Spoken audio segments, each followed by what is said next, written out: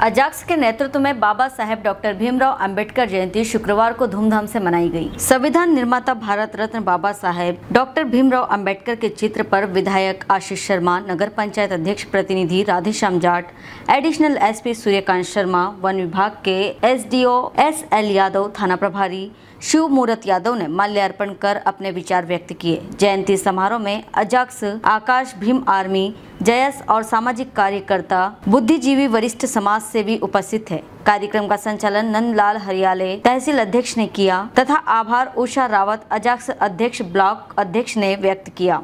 कन्नौज से कमल गर्ग राही की रिपोर्ट। पर क्या कहना चाहेंगे आप? हेलो। भारत रत्न। भारत रत्न डॉक्टर भीमराव अंबेडकर जी के जयंती के अवसर पर आज उनकी प्रतिमा पर माल्यार्पण किया गया।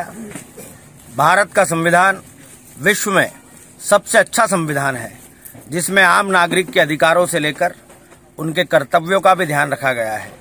एक संतुलन स्थापित किया गया है, जिसके कारण देश की आज़ादी के इतने वर्षों के बाद भी आज देश न सिर्फ़ उन्नति कर रहा है, बल्कि संविधान के प्रति लोगों की भावना और पहले से ज़्यादा मज़बूत हुई है।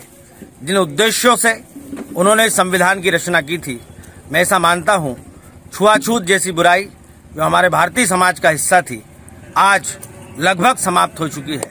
और इस कारण से मैं मानता हूँ, एक सर्वधर्म संभाव की दिशा में भारत देश तेज़ी से आगे बढ़ रहा है। हम पूज्य बाबा साहब के चरणों में विनम्र श्रद्धा, सुमन अर्पित करते हैं।